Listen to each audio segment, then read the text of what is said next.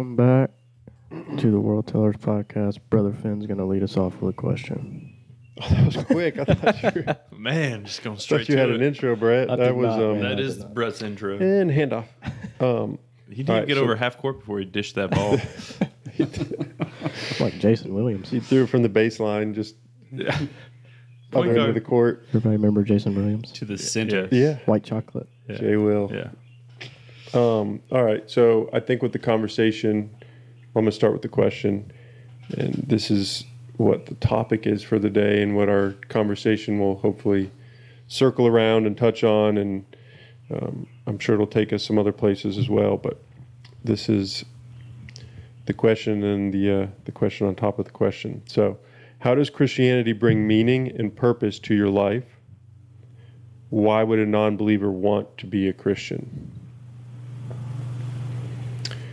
And I was only starting by asking the question, so I'm going to open it up. I'm sorry. Can you ask that one more time? I'll read it one more time, Okay. and we can touch back if we need to later. How does Christianity bring meaning and purpose to your life? Why would a non believer want to be a Christian? I guess another way to ask that is why does Christianity offer the answer to the question of what is the meaning of life? What is the purpose of life? And why does it answer it the best? Tracking, tracking. I think you should dish the ball back to Brett. Brett, what are your thoughts? Oh, wait, he's still back on the baseline. I thought Jonathan was going to lead us off there. No. Um, I can't dribble. He's just in the paint. I think. Um,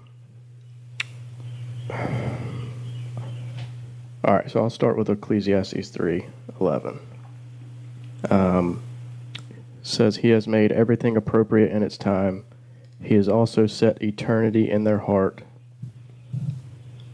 And so I think our our design is to know God and be in a relationship with Him.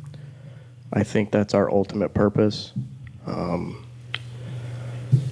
and I think everything else. So, our, for those of us who are in Christ, we have we have a hope. Um, we have a living hope now, but ultimately, our hope is in the next is in the next life. Um, so you're able to go through this life having that eternal mindset, and so when things come and trials come, you're able to deal with those things because you know that this isn't all there is. Um, so that's my short. That's my short answer. Yeah, yeah. I'll, I'll. I know I tend to get long-winded at times, so I'll. pass. Thanks for cutting it off a little earlier. Than, 79 words in a row. um, a couple of years ago, I was on a kick of uh, trying to get my health in line, and I'd done really well with that. I lost a lot of weight and was running and, and enjoying that, and it's a good thing. Um, I had also had some aspirations to.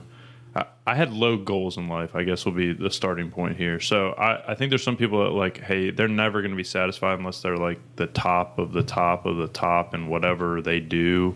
They want to be the best basketball player, the best golfer, the best CEO of a Fortune 500 company. And unless they're there, like there's always this target that they can aim for. My targets were pretty low, so it was pretty much like feeling somewhat financially secure, having a house, having kids, having my health in line. Um, those were kind of some of the targets that I was aiming at, and I thought like if I could kind of hit these targets, I would kind of hit this threshold in life where it'd be like I'm good, like I got it. Now I can kind of just sit back and just kind of maintain from here and uh, live from this place of just fullness. And uh, praise the Lord that I had low targets because uh, about two plus years ago, I, I oh, I guess almost three years ago, I, I kind of hit those targets. Uh, my wife and I, we had had struggled with infertility. We ended up having uh, our daughter Shiloh in 2019, and then soon after, we're pregnant with our son Uriah, who was born in 2020. Um, COVID started, and for us, it didn't affect my our income, didn't affect life. in a in a financial standpoint. If anything, it kind of assisted us. Um, it didn't hurt us, and it also um, from a it took a lot of requirements away expectations away. We didn't have to go attend this or go to this thing. It was kind of like life became simple which is great when you got a, a young baby in the house and stuff and um, so it kind of simplified life. And once again i'd already been on about a year and a half kick of like focusing on my diet and that was like kind of really what i lived and breathed throughout the day like focusing on when i got get to do my workout in and you know looking up this new diet plan and all this kind of stuff and i was enjoying it it was all great and then I knew there was still something missing. I was about to say enough about us. Let's talk about you, Josiah. Yeah, well, okay. So then I, I hit a I, I hit a wall, and I'll just stop there. No, no, no. What I what I came to realize is I had all those things, and things were great, and there's nothing wrong with each any of those individual things. They're all not bad things of themselves. But what I came to the realization of was this doesn't actually provide any genuine fulfillment in the ultimate sense. There was still something completely missing. And it took about a year of uh, really tough trials in life and the darkest spot that I've ever been in in my life personally to come to the realization that the only fulfillment and purpose and meaning um, that I could piece together was what was in front of me all along, something I had professed all along, which was my Christian belief, but it was something that I never really actually applied to any major areas in my life in a way where there was transformation. And once, uh, not out of my own willpower, but really out of a place of necessity and falling apart, that I start to apply what I said I believed into areas of my life and I started to see meaning and fulfillment and purpose. And that really genuinely came from growing in a relationship with who Christ is and who he says I am in him. So for me, it was, yeah, I, I, I reached what I thought was going to be good and it was good, but it wasn't what I thought it was going to be. yeah, being being close. How many words was that? Uh, Close to a thousand. Yeah, once I get to four digits, Dude, I um, could write a paper Yeah, no, no. Uh, so we for- did. chat, with Chat GPT. Did I tell you all that I had to write a couple kid stories for? um Anyways, Was this before or after Chat GPT? This was with chat. no, this is with Chat GPT. He had I've done that. it I've done write that. the stories. So yeah, so I'm a published author, anyway, by the way. this is a side super tangent here. We'll but- come back to this next week. Yeah, yeah. No, so I call I call Camden um, Dr. Cromwell because she can take a single tortilla chip and spread it over a thousand square feet to where you're always stepping on it, and um, because because all we do right now is feed and burp um, William. I call him Mr. Belcher. And so I had ChatGPT make a story of Dr. Cromwell and Detective Belcher. And anyway, it was, we'll save that for another day. But um, anyway, oh, but yeah, so, so this is, but as you say that, what I'm thinking of is that whatever that wrote is probably more. And I'm not giving, I'm not saying this in judgment to you, but is a probably better, well written kid story than what you could write on your own, especially in that period of time, which is like a couple seconds, right? well, so since since we're staying on this, um, so I have the a final is, point, so- I, I, had, I had it write two stories, and it was cool to- that it just spit it right out, and it's amazing how fast it writes it. It's like, oh, this is. But yes, so I had told Lauren, I was like, oh, one day it would be really cool if I wrote out a story and like made like an actual little child's book, not to sell or well, in my mind, it's like, oh yeah, this will be worth a billion dollars. But New York bestseller. but just to kind of like, you know, have this and like you could just find pictures instead of drawing your own. Anyway, but um, You could So have AI. There's that AIs be- that draw pictures dude, now too. I'm so- waiting on it. Yeah. I've got. They- it's already need- done. You No, but he's waiting that. for it to show up on his Amazon, Amazon Yeah. account. Gotcha. So he can I'm buy waiting for it to be so easy. I don't have to download an app you need no talent at all. It just Yeah, comes with the phone. or initiative. Yeah. You just have to have the ideas. Yeah. No, so within that I it was like, oh, this is really cool. This is you know, this just happened and all I had to do was just type in Dr. Cromwell and Detective Belcher and um but I sent it to my sister and she said the same thing I was already thinking. She was like, huh, it just sounds like I've already heard the story. Hmm. And it was very much that where it's like, even though it is a story, and at the end there's a little bit of a twist where Dr. Cromwell finds, you know, they're they're looking for the missing necklace and they open up the picture and it's behind it, you know, whatever. It's like does feel like you've already heard the story, and two, it just seems like both stories that wrote for me lacked heart or lacked something that was like it was just a story. Yeah. Anyway, so Well, since you asked, No, no, I, I think that's one of the. I, I was thinking more from the perspective of uh, fulfillment. So, the, it you you had an idea, you gave it to Chat GPT, but that's not your story, right?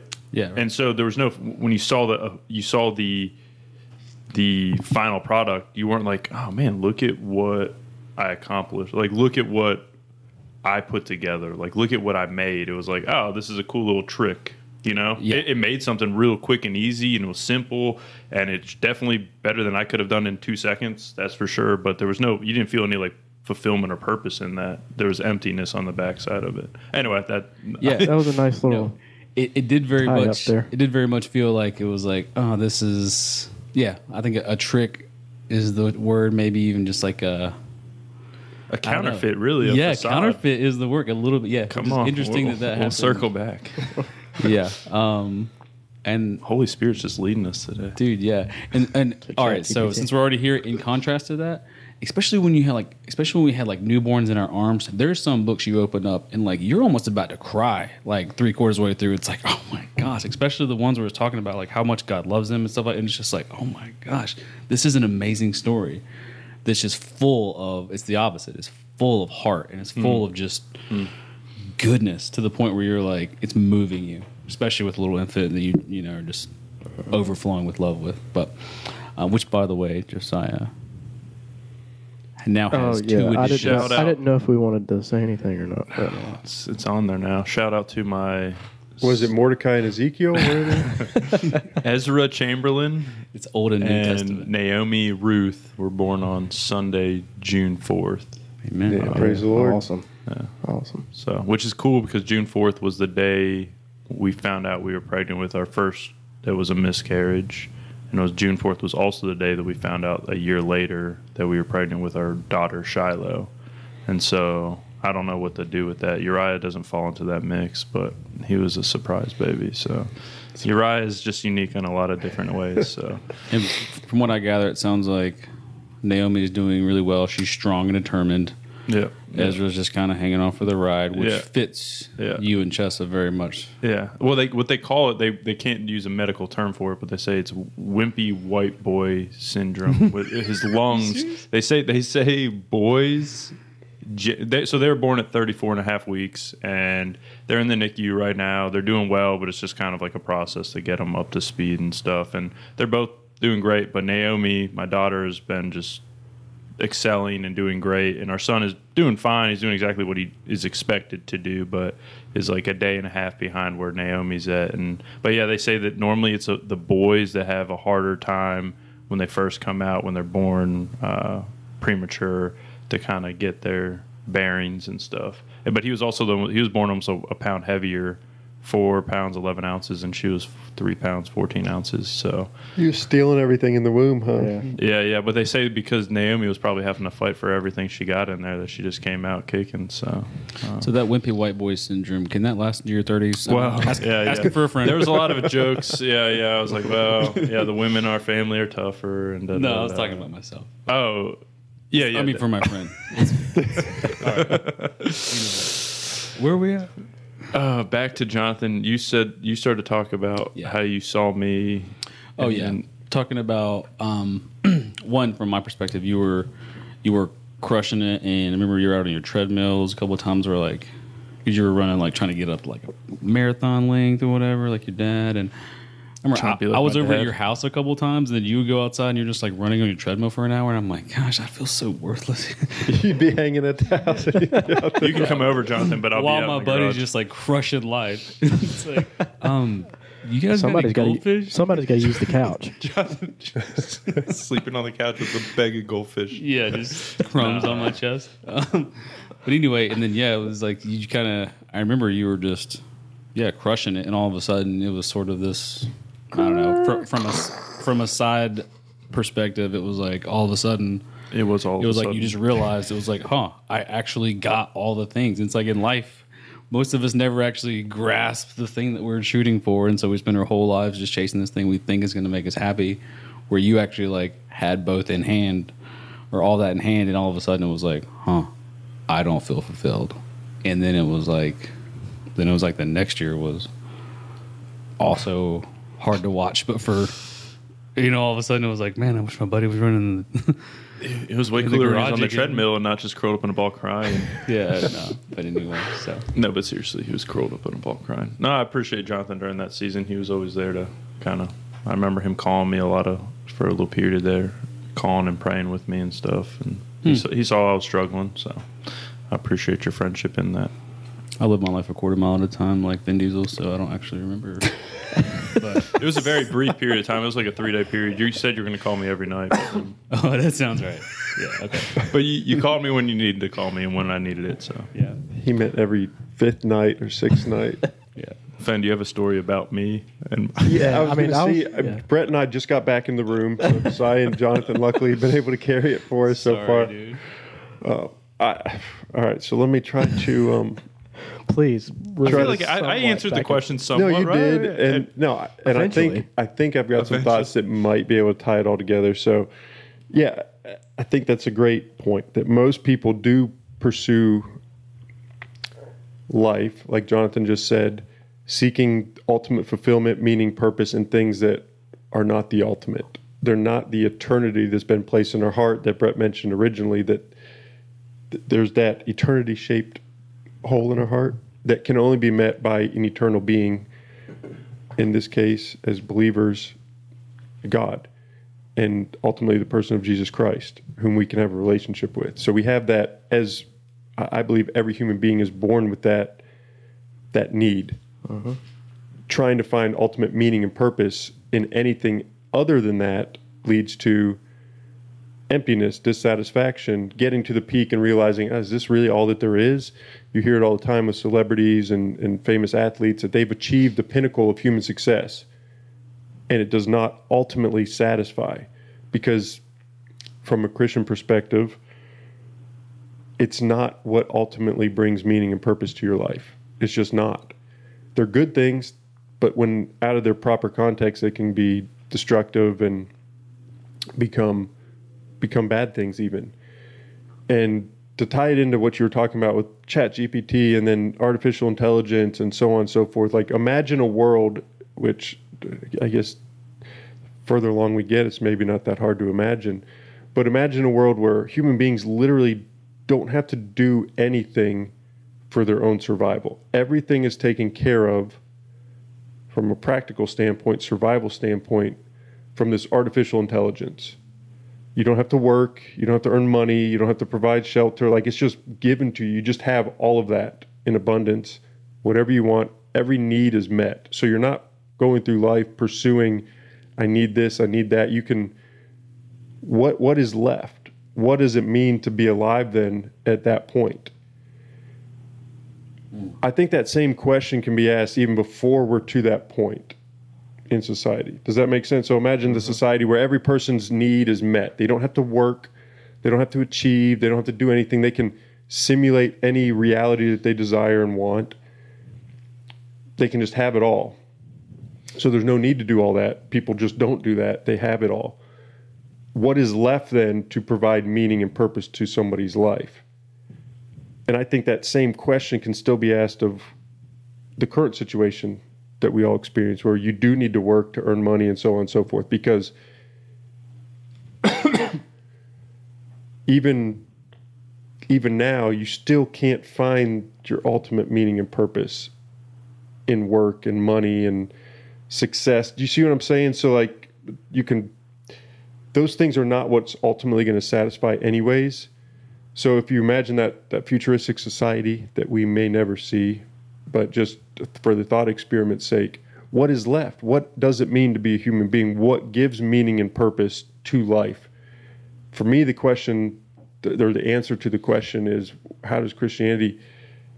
I think it's so simple that we overlook it and then we neglect it and then we don't focus on it and we don't think about that. It's not the forefront of our mind day to day, but it's so simple. It's it's to love God, to to pursue and have a relationship with the eternal, the the being that is beyond our comprehension. We'll never fully understand him. We'll never have, but it's what our heart desires deepest. And then so it's to love God and then to love people. It's it's all about relationship. It's that's that's the ultimate meaning and purpose of life is relationship. Mm-hmm. And apart from there being an eternal being that we can have that relationship that will never disappear, will never go away, if everything just ends in the heat death of the universe, even relationship becomes meaningless because it might be momentarily great, but given enough time, it is just going to disappear completely. So there's got to be that eternal grounding, I believe, that Christianity provides in the person of Christ and, and God the Father and the Trinity that is is is paramount and important to the deeper meaning and purpose of life, which is, in my my opinion, to simply put, relationship. It's relationship with God. It's loving God and then loving people, and everything else can be stripped away. So you can still have that. rela- So imagine the society I described, that thought experiment in the future, where every need is met. You can still find deep meaning and purpose in life through relationship which is still the same exact way we need to find deep meaning and purpose in life now, in the here and now, exactly the way the world exists. It, it doesn't matter what you've achieved in life, like people on their deathbed are always going to point to family, friends, relationship, period. Like that is the deepest meaning. Imagine experiencing life and there's nobody there to share it with. It doesn't matter how successful you are, it's, it's meaningless if you're by yourself. Like that, that's hell. Um, I think the opposite of that is deep, intimate relationship with friends, family, and then ultimately God. Um, Man, we, yeah, yeah. dude. I, one, I love the thought experiment. Um, I love just the, uh, and I, I don't. I mean, who knows, man? We might not be that far off from there. Um, but um, I don't know. My my first thought goes to like like my first thought when you were, you know, kind of painting that picture was, I feel like living in that society would magnify and make it very obvious that you know that there's something more that I need to grasp, or there's something more because it's like, okay, well, h- how can I find? There's nothing that's people fulfilling get me sidetracked. anymore. That's what I'm saying. I think it's Right. still true now, even now, but you can hide it behind I was just being busy. my job is where I find my meaning. I was going to say the money I- I make is where I find my the, meaning. The But- thing that I've been thinking about lately is a distraction, mm-hmm. and I think, I think the enemy uses it. I think we do it on our own as we get distracted by the things that take up our time during the day, whether that be work, whether that be our hobbies, whatever it could be. But distraction, I think, is a very big, a very big problem. Yeah, and uh, so yeah, that's like my first thought is that where it's like, okay, well, if there's all these less distractions, and it's like now I have all this more time, I have all this extra time on my hand compared to what it used to be, or just a generation ago. then now all of a sudden it's like, okay, the the point and the fulfillment of knowing God and pursuing Christianity and to, know more about it, and like, hey, what are these guys talking about? Why are these people giving their lives, or you know?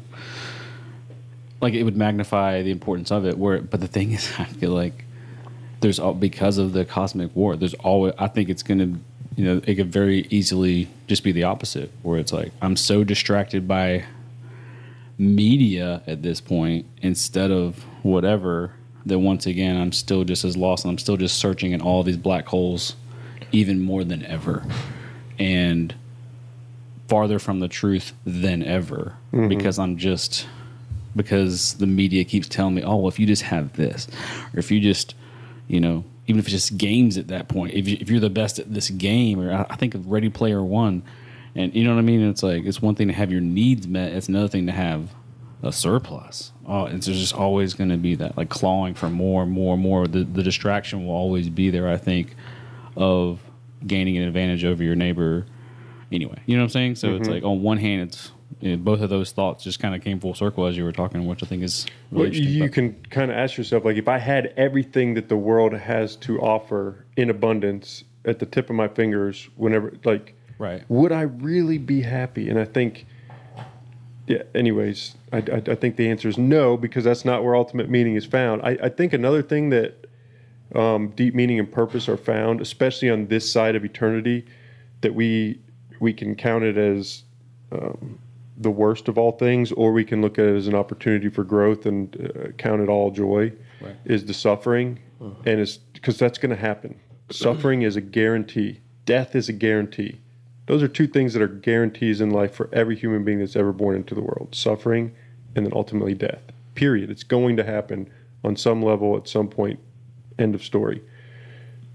And it's the it's like embrace like facing that forthrightly and confidently because as believers we have something beyond this world that we place our hope in that we're trusting in that we can confidently step forward and face those sufferings and, and death and evil and destruction in the world because there's not a great story out there that does not have conflict and suffering in it those are the best stories Right. The tragedy. The, and and it- you always want to be the person that faces those things bravely and confidently like the hero and we can do that as believers if we're rooted and grounded in the truth and the hope and the joy that comes from Christ.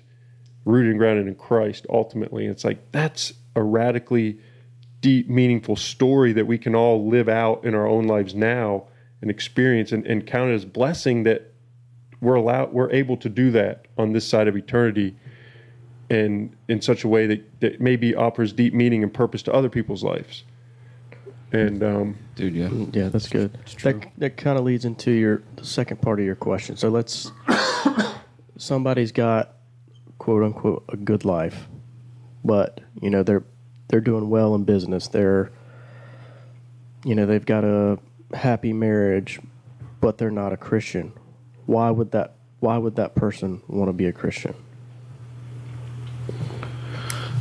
I, I do think you have to start from a perspective because most people in that moment, in a snapshot of time, would say, well, things are good, like I'm good. And I don't know if people, yeah, I feel like you just got to be like, all right, well, what is the long term outcome? Kind of talking about what Fen says. And maybe it's just because I, I, I think I have a natural nihilistic tendency where it's like I can see that apart from God that like Fen said the things guaranteed in life is life suffering is and death. ultimately meaningless apart from God Right. So it's almost how do I get somebody not to like belittle their circumstances because it's like, hey, those are blessings. Those aren't. I don't want to undermine the. You got a, a you got a loving family and a and a home that is you know you guys are you and your wife are a team and you love each other. That's great. And you got a, a job. That's awesome. Like you don't want to undermine those things, but it, you do kind of want to say like, well, let's l- just look at this long term.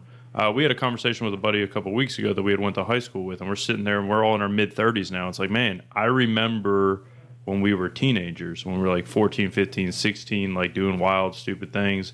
We're now in our mid 30s with kids, families. Like, time flies by, right? And hey, we're over a third of our life through if, if we're live a full life, right? And so it's like, how do you get them to kind of think long term and say, okay, is is this the best there is? I think if somebody realized like as Christians, we're called to be sojourners here, right? This is not our permanent. We're for we're we're strangers in a foreign land, right? And the more we have that realization, the more we can live open handed and freely. Mm. The more we can love one another, as opposed to if we see that this life is it. I think we kind of have this like holding on with like clenched fist mentality, where it's like I gotta, I gotta get this thing. This I- it's all about almost self fulfillment because this is all we got. And as Christians, we should be living more of like I'm just here for a wisp and a vapor. I'm going to be gone, and I'm going to be going to something that's way beyond anything I can comprehend here from a, a joy and fulfillment perspective. And so, almost getting them to kind of like see past their momentary thing. I, I think there's in our society, there's a lot of people. It's like I just want to live in the moment. I don't even want to think about that up there. I got so many, and I have so many distractions where I don't ever have to think about the thing out mm. there. I got so many things that I can do right now that provides momentary happiness and in the moment I start to feel that emptiness on the backside, I can just find another thing that, will. that ex- existential Right. angst about right, the right. deeper questions But but it's like to, you almost need to get somebody into that perspective. they have to get like you had like Right. your, your experience in your life rocked you to the core that you like had to you were confronted with those questions in a real way and I was so grateful for the fact that I had a foundation that was there. Mm-hmm. I knew all the answers. It was just Josiah, you never, you've not applied it at all in so many areas of your life. The answer you've you've held these propositional truth statements out here in the ether, and you've uh, taken little snippets here and there, but like as a whole, you've not entered into the relationship with Jesus that you've spoken not- of and taught. uh, You, you know all the stuff where it's like I could give you the right answers to the test, but I don't know him in the way that he wants to know. Never be known. partook. Yeah, of the divine nature. Yeah, well, it's almost like I'm envisioning like there's a suit of armor just sitting there, and you're just admiring the suit of armor, but you've never actually put it on and like realized its usefulness and like how it actually, um, how it fits on you. And anyway, but even as you're saying that, it's like there's a such a simple message within that that's for someone who is for someone who doesn't have that perspective of I'm just a sojourner here and I'm just I just I on one hand it's like I just need what I need to be able to you know we just have our necessities to be able to survive as a human being here while we're here and but once we have that then we can spend the rest of our lives in relationship and serving the kingdom and you know what I mean it just opens up all of a sudden this all this other time that's just free to like actually live whereas if you don't have that mindset it's like nothing is ever enough. I need to fill that time with more work. I need to be able to. I'm, I'm falling behind, and it's like there's the necessity base level, and then there's like, but what if? But what if I had a billion dollars? I could just buy all this cool stuff. That you know, there's always going to be Right. Something else you can't afford. Well, and you see a ton, a ton of people that kind of make it to the pinnacle. And I don't, I know there's a lot of like conspiracy theories about like Bill Gates and all that, but like they, they're philan- philanthropists. What's what's the word? Philanthropist. Yeah, that word. Man, I always choose words that I can't say. Philanthropist. I need to do the practice before, like Jonathan, the tongue tied to to the dock, whatever. Um, but like they they they give out more money than I'll ever make in a lifetime on like a daily basis. Like they give out, and there's an aspect where it's like I think these people reach these pinnacles and they realize like I have all this accumulation of wealth, and then they want to do well for society. So what I don't want to say is, if you're not a Christian, you can't have this heart where it's like I want to help others, I want to be in relationship with others. What I think that indicates though is if you start to peel it back, it's like, well, what is that rooted and grounded in? Because if if there is no ultimate, if there's no God, if there is no eternity, if there is no nothing beyond this, then it is in the ultimate sense still just as meaningless as just getting yours and doing whatever you want with it in this lifetime. And so, but you, you see that tendency where it's like you get it all, and you see these people that, you know, you see people commit suicide and stuff, and then you see these people, it's like now they devote their lives to trying to, you know, take the wealth that they accumulated and help others with it, which is great. I, I'm not trying to undermine that, but then you start to, what is that rooted and grounded in, in the ultimate sense? Um, Well, on, on some level too, it's like okay, I've had all this money, I've tried everything that was selfish, and that didn't work. So now I'm going to try to turn that turn that trying to around. find fulfillment in this. But even within that, that can also be empty if it's without uh, purpose or if it's without eternal purpose. I think. Yeah, and ultimately, I think relationship with, I think they're finding relationship with others, but they're Right. not finding a Which is relationship good. With, with God, right?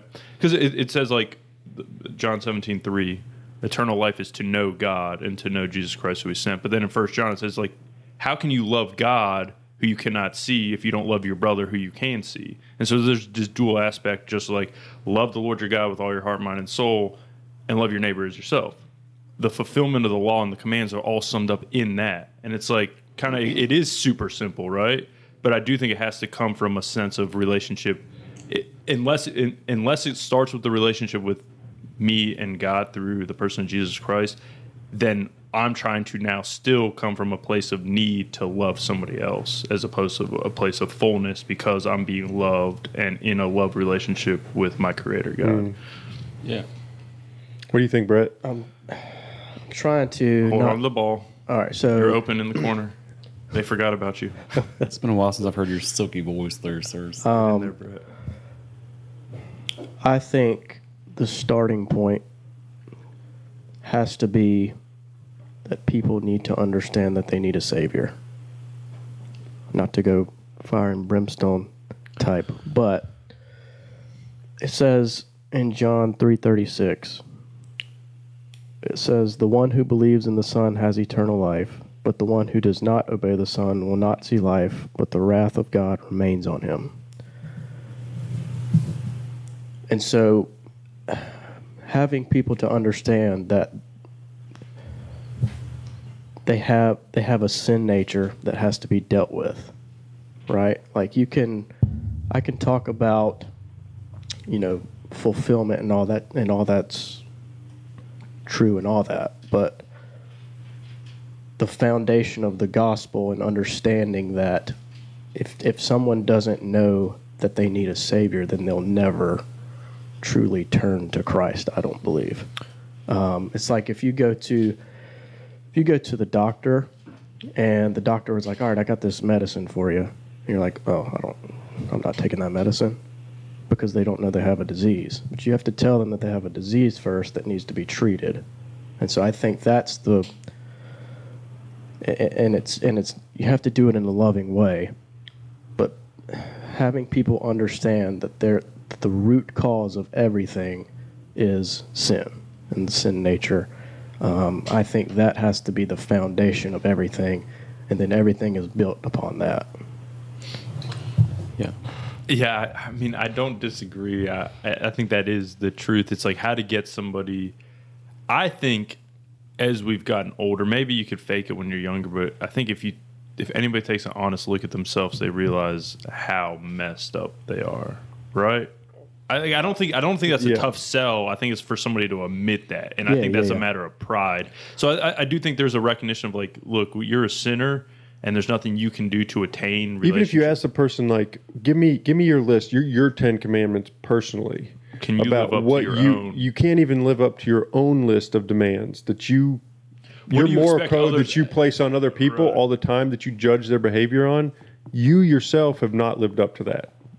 And you, know that. You can tell you me one that. way, Yes, but you know. in deep down they they do know that. And then it's like okay how do i get out of this situation that i'm in? And and christianity provides the beautiful answer that it's it's by faith alone in christ alone and that you receive forgiveness by placing your faith in him. Because you have you, you have to admit that i do have this disease that i'm incapable of curing. I have don't have the answer to it. That's the thing about christianity that i think is so cool that because it's so true you find uh, pointers to it all over the place. Like, why can't I find deep meaning and purpose in work and money and success? Well, because it's not ultimately the purpose. Why do I always feel like I'm not quite something's wrong with me that I'm I'm not living up? Oh, because it's, it's your sin nature and you need a savior. It's like everything that you can look at in the world. It points ultimately, in my opinion, to Christ and Christianity and the truth of it, the validity of it. And anything else is a less satisfying answer to any of life's deepest questions. It just doesn't provide as deep, as satisfying, as beautiful an answer to those questions as Christianity and Christ does. And well, just Go, throw go. this in there. I mean, King Solomon, the wisest man, you know, whoever lived, tried to save you some time. He wrote Ecclesiastes, probably in a low point in his life, but it was like, man, it's like, look, I've I had everything. I tried everything. If you just took that to Let me save you some time. Yeah, it's like, dude, oh my goodness. I gotta I gotta read it because that's what. Uh, so, oh man, it's gonna be he- scripture heavy, guys. You about to read Ecclesiastes? Well, he had brought it up earlier, so Oh, it kind of I was like, I feel like this. But then when you touched on that, I'd been sitting in uh, uh, Ecclesiastes one, but it says, "Meaningless, meaningless," says the teacher, utterly meaningless. Everything is meaningless. What does man gain from all his labor at which he toils under the sun? Generations come and generations go, but the earth remains forever. The sun rises and the sun sets and hurries back to where it rises. The wind blows to the south and turns to the north. Round and round it goes, ever returning on its course. All streams flow into the sea, yet the sea is never full. To the place the streams come from, there they return again. All things are wearisome, more than one can say. The eye never has enough of seeing, nor the ear is fill, nor the ear its fill of hearing. What has been will be again. What has been done will be done again. There's nothing new under the sun. Is there anything of which one can say, Look, there is something new? It was here already long ago. It was here before our time. There is no remembrance of men of old, and even those who are yet to come will not be remembered by those who follow. And then he continues on about meaningless. And once again, if you know who the person of King Solomon, he, he's from a, a Christian perspective viewed as the, the richest and the most wise person that ever walked the earth. And once again, somebody could fight that, but from a Christian perspective, that is kind of what the, the Bible teaches. Wisdom and the fulfillment of every worldly thing was given to him from a um, from a riches standpoint, and he's in the spot where it's like, this is meaningless. This is literally pointless. And you can read all Ecclesiastes, and you come to the end of it, and he says, "What is the purpose of man? To fear God and to follow His commands." And I, I always try to translate into what that looks like in a New Testament perspective, and it goes back to to love your God with all your heart, mind, and soul, and strength, and to love one another as yourself, because that is the summation of the command, right? Yeah. And uh, well, I'll say, too, there. Man, that that Yeah. Basically just said everything we've been trying to say poorly. And like, it's so good. It's so good.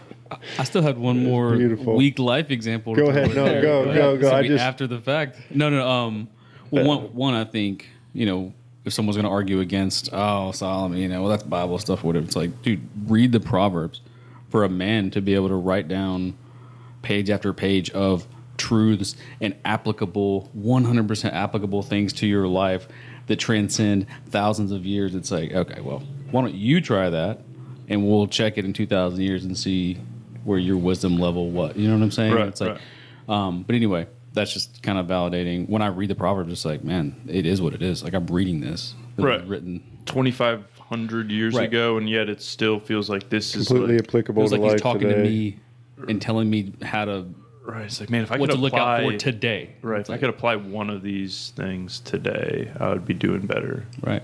And the fact that there's exactly enough chapters, make sure you have one to read every day. Anyway, um, but uh, Jonathan sale pitch on the Book of Proverbs. yeah, guys, look, I will. Give me a two minute elevator pitch Yeah, on for, Proverbs. for five ninety nine a month, Oh my gosh. I will tell you exactly where to read all this. Has anybody heard it? Uh, I don't want to go off on tangent. No, it's not. Something Tangent. pop pop off. Some so- dude. I was in the Dude, hospital. P- Peter Popoff? Oh my gosh, dude! Peter it made me like sick to my stomach. So this is where people are like, I don't want anything to do with Christianity. So we're watching, we're watching something on TV, and it's like a one eight hundred infomercial comes on. It's like, buy this miracle water, and you will be like blessed. And then they show like these people like, I bought this miracle water, and I got three thousand dollar check in the mail. And then there's like four other people saying I've the same thing. And then he comes on, and he's like, Yeah, get it today for da da da. And he's like, and we'll pro- and I promise you'll be blessed. And da- I'm like, this guy's gonna have to face the creator God of the universe Yes. with whatever he's selling over here. There is a handful of people like the TV, and I do. There's at least one guy. I can't remember. What, I don't think it was Peter Popoff, but same with. I, I don't want to. At first, I was I don't like, put a this is target a- on my is this back a in any joke? way by putting this out in the by putting this out in the. But like, there are some people I've seen doing things like that. That it's like you look in their eyes, man. It's like ah, that looks like a demon to me, man. It's just like how could and I at some point it's like how could you be doing this to people and that not affect you on the chorus level? But anyway, that's, that's neither here nor there. But um, so meaning is not found in televangelism Well- through selling miracle water. I I think this this does kind of tie in. So I think a pushback a lot of non-believers have is like, look at all the horrible things Christians have Yeah. done. And once again, there's another side of that where it's like, look at all the amazing things and, that and I can Christianity see that too. My answer to that is like, yeah, I don't think that's actually what those quote unquote Christians were doing was not actually in line with the truth. Exactly. Exactly, And so. I always have to say, like, if you read the Gospels of Jesus and his life, and you had an honest viewpoint of it without already coming with all your biases, you would say, I would follow this guy. This dude literally was the most humble servant leader. Yeah. The idea of like the epitome of just like, it's not about me. It's not about me coming in with this high pedestal. It's like to to to lead you must you must serve and as he's washing his disciples feet be, knowing that he's about to go be crucified eh, that's the kind of leader that we see as god incarnate Like that's a deep, human form. meaningful, purposeful life. Yeah. That's Hum, that's just it. humble. Like the this is God, and he was born in a stable. I heard someone saying at one point, like, well, I think it was um, Jim White at uh, east mac Mecklenburg, Mecklenburg Community Church, but he was saying that um, this is another tangent. I'm sorry, but like if you're looking at the life of Jesus, either either he's telling the truth about who he is. Like, there's only three options. Like if you're a non-believer, either he's telling the truth about who he is. Lord, lunatic, or liar. Yeah, Lord, Lord lunatic or liar, and that's the thing. One of the things he mentioned that stuck with me too. It's like most people who are liars or even lunatics, they're only liars or lunatics until it comes to when it doesn't serve them anymore. So if you're about to die for what you're saying, and they're giving you options to cop out and be like, no, actually, okay, look, I was just kidding. I'm sorry. Like Pilate was trying to give him the door, and then to still stick with that, it's like all of a sudden it's like that doesn't fit because someone looking out for themselves stops there and looks out for themselves. And Right. um, Right. anyway, but so uh, w- dude, as far as this topic goes, which the original topic of I'll read the question one more yes, time. sorry, for Just- those, just for real the space quick. cadets, yeah. real quick. So I- real real quick. real quick. Um, I also think that non-believers think that Christians are having faith without without any type of evidence, and I don't think that's the case. No. Um, there's there's out you know outside of the Bible, there's a ton of other historical documents that are right in line with with the Bible. And then if you just look at scripture, there was over 300 prophecies fulfilled in scripture. And so I think it's very important to point out the fact that we're not just some group of people who are just having like a blind faith in something. Right. Um, it's like no, there's there's historical evidence. yeah. This is the most logical. Yeah. Yeah. Well, because and the one thing that I always do with that question is you, you cannot, and for anybody listening that's not a believer, it's like, well, I just don't, I just don't buy that stuff. I always challenge them to say, what are you, what is your grounding that you're, what is your ground that you're standing on that you're over here judging Christianity from? Evaluate your own standing. What do you believe in? Yep. What is your faith placed in? Because it's something it is something. You cannot be 100% neutral because even that neutrality in and of itself is a stance. Yep. Do you see what I'm saying? So, mm-hmm.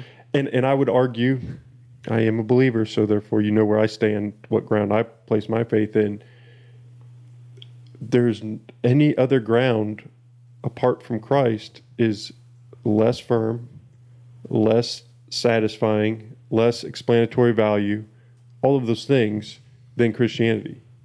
And not only is there good evidence for Christianity, every other perspective, any other grounding you can stand on, in my opinion, has less of all those things and leaves you on more of a shaky foundation. Because you, you're it's not a neutral place. Like i'm just judging christianity. Here's the flaws in it. It's like no no you have to be judging it from some perspective. Mm-hmm. And that perspective in and of itself is also a faith-based assumption about the nature of reality.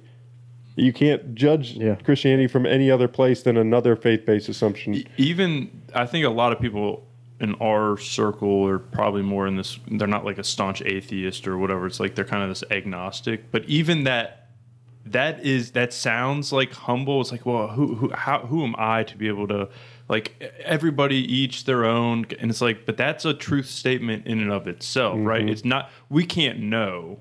So that you're making a statement that we cannot know this anything. We can't if there is a God out there, we can't know them. It's not knowable in this lifetime. Or hey, if you believe in this and you believe in that, then that's okay. To each their own. It's like well, but my truth claim is stating that I believe that this is the only the way, the truth, and the life is only found in Jesus. So by me making that statement and you saying that, well, you can, I'm good with that and I'm good with this, you, you're immediately throwing me out, even though you're kind of patting me on the back as you do it. Um, so, so, so yeah, I, I do think though it comes back to distractions though, because I do think there's a ton of people.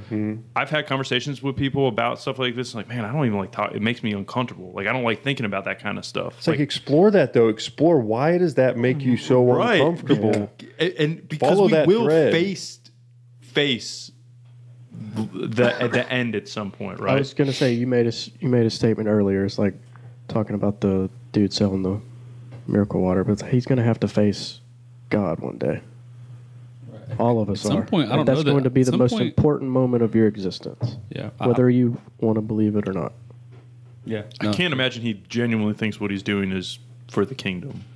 And if he does, then I'm, you know, I just should- I, wonder if there's some point where it's like You just like cross over. Judas or like like Satan, where it's like I know the truth, but I would just and even still I would just rather live it up right now. I don't Well, I know. mean, I don't know if that. read- I don't know. I, I don't want to assume. if you read thoughts. Romans 1, it's like, man, there's these people who knew, they know the truth about God, and yet they, Suppress the truth and suppress the truth and they keep pursuing the things, the evil things of the world. It says eventually God will give them over to their desires. Yeah.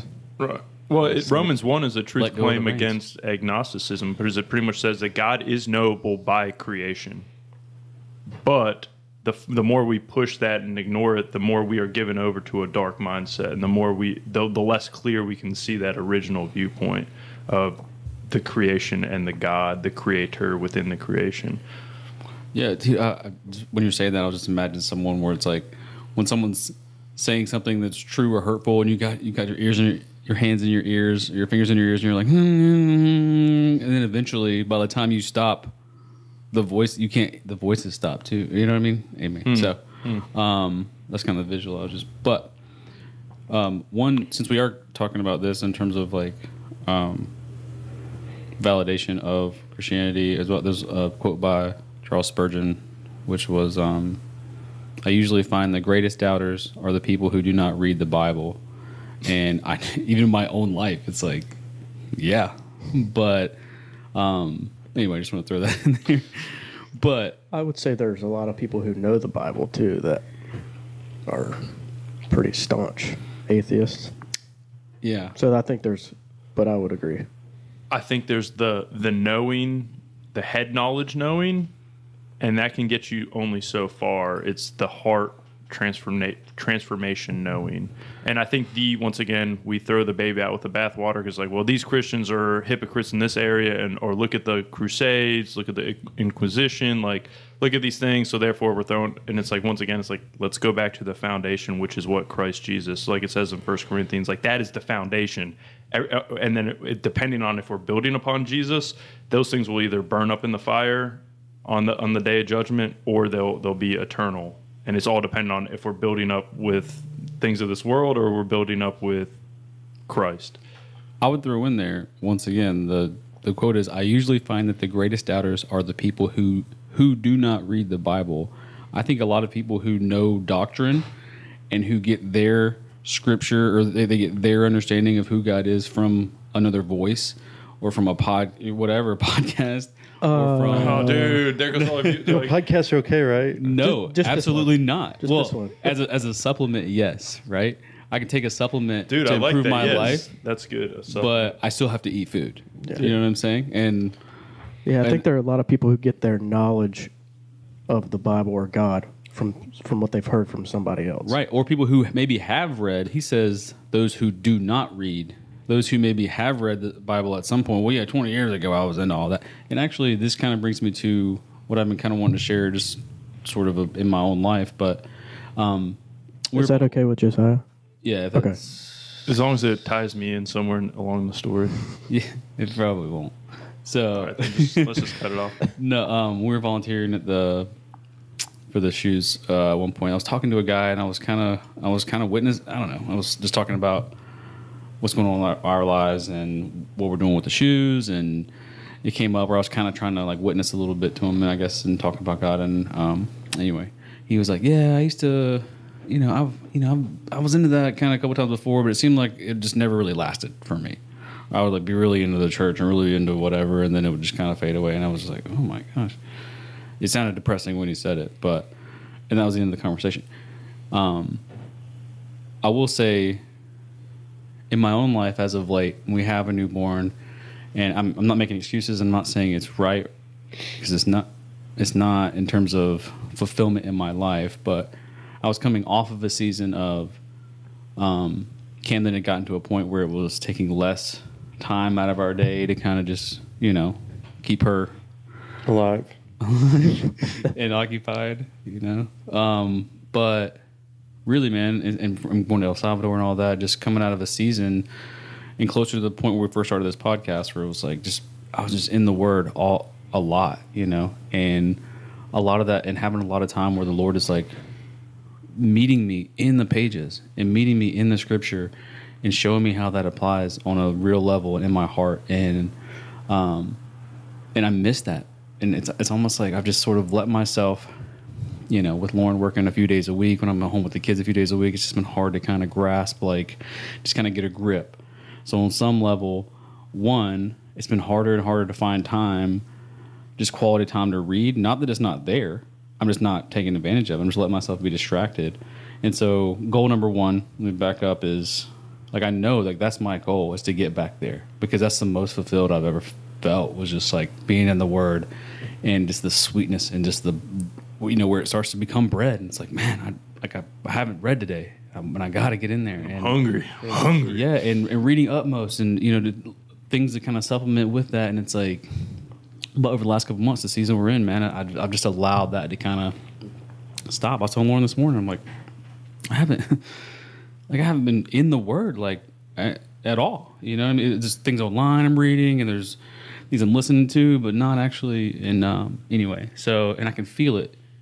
But the point of you know how this wraps back to our topic is, especially at night when I'm praying and during the day, it's like, and I was mentioning this before the podcast before we started recording. It's like, man, when I'm praying, those scriptures are still there, and I'm I'm you know, I'm talking to God and like these scriptures just keep coming in here and here and here. And it's just like, He's right there. He hasn't gone anywhere. I haven't gone anywhere. And our relationship is still good.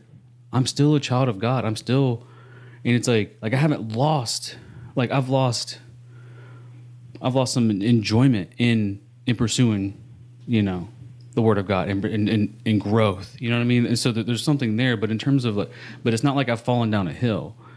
Um, and it's like now when I'm praying, it's just like, man, and I'm just realizing more and more that I have that who he is and who I am in him. It's just like that hasn't changed and won't change. And the scripture that comes to mind is um, Matthew 28, the you know, the very last verse in Matthew um, when he's talking about the Great Commission. And the second part of verse 20 is um, and behold, I am with you always to the end of the age. And as of late, when I'm praying, that's been coming to my mind where it's like, I'm with you always. And it's like, and I'm sitting there, I'm like, God, I'm sorry, I haven't been reading. I haven't been, you know, and it's just like, boom, that comes into mind. It's like, I'm with you always.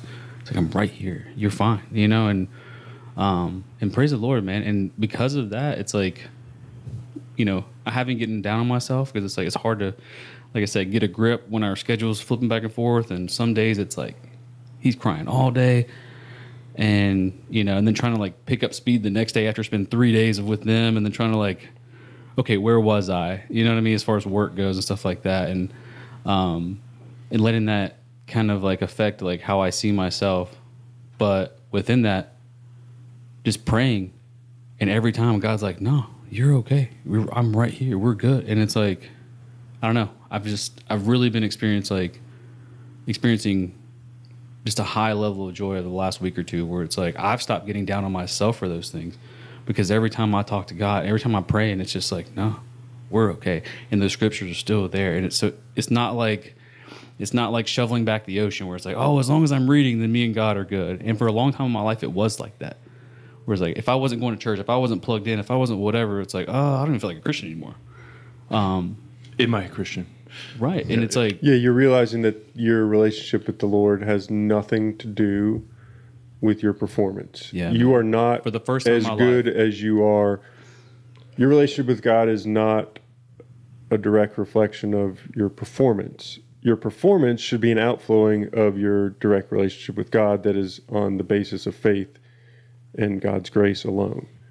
And you'll find that you'll want to spend time in the Word and spend time with the Lord when you realize that, oh my gosh, I'm fully accepted Yeah. by the eternal, uncaused being, creator of the universe that loves me and died on the cross for me. It's like blows Yeah. your mind, and you're like, man, I'm a child of God. This is awesome. and Yeah. th- that draw is there, and I feel that draw.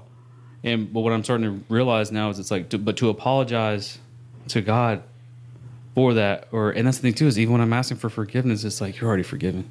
It's and all that is just coming through the scripture, and it's just like, oh, you've already you're already forgiven, and it's like, but to apologize for not taking advantage of the gift doesn't make a lot of sense. You know what I'm saying? He's- He's almost just like, let me try to. It's like I'm like, Lord, oh no, I should be reading, I should be this, and he's like, he's just like, don't, you know, like there's time for that, and there's, you know what I mean. But that that's growth. That's like that's a gift, and when you're, you know, when you're ready to take that, then you will. Anyway, I don't know. It's just I, I've been experiencing a high level of peace, and so when I with the topic today of you know how does Christianity bring meaning and hope and fulfillment to your life, it's like man, for the first time ever, I'm actually experiencing in what I guess I would call like a a dry season in my walk, just because of everything else going on um, with kids and stuff like that. It's like even then, for the first time, it's like man, I, you know, God is good, and I'm a child of God. You know. So, Foundation. enough about you guys. Amen. All right. Amen. Good. Any closing Hope. thoughts? Hope. Uh, That's what he was saying. Hope. Uh, just anyway, hope. We have a hope, a hope that goes beyond this world. A hope that And assurance, Yeah. you know. a, a foundation that our hope is built upon, Amen. a cornerstone, an anchor in the storm. And nothing can change it. Right. Even when we fall short, Yep. there's something still firmer. Praise the Lord. And it's not it's not an out of this world notion. It's like when I was in college, I went from talking to my parents ten times every day to sometimes once a week, but I was still their son, Right. and that never, you know. But if that goes on forever, you know, there's a cost there. But um, anyway, this that's all I got to say about that. Amen. Amen. I think that'll we'll leave it it. there. Sorry, guys. All right. We got to pray it out. Pray it out. Jonathan, you're back on the mic, brother. lingerers, man. no. okay. Um, yeah. Lord, thank you so much for um. Thanks so much. You are a good God, and um, God, I just thank you for the new kids we have, and um, for the brotherhood we have, and all of our brothers and sisters, Lord, everyone that's part of your body, Lord. Um, and those that aren't, Lord, just thank you so much for everything you've given us. And um, amen. Amen. Amen. Amen. Until next time.